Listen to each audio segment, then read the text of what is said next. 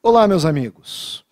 Uma súmula vinculante que acaba chamando muito atenção quando nós falamos a respeito de processo administrativo disciplinar é a súmula vinculante número 5 do Supremo Tribunal Federal.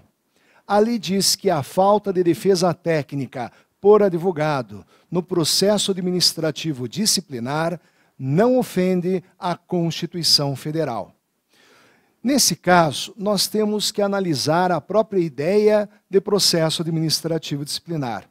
O acusado pode comparecer ao processo acompanhado de um advogado ou não. A falta de defesa técnica por um advogado, segundo a súmula vinculante número 5, não ofenderia os princípios de um processo administrativo, princípios estes previstos na Constituição Federal.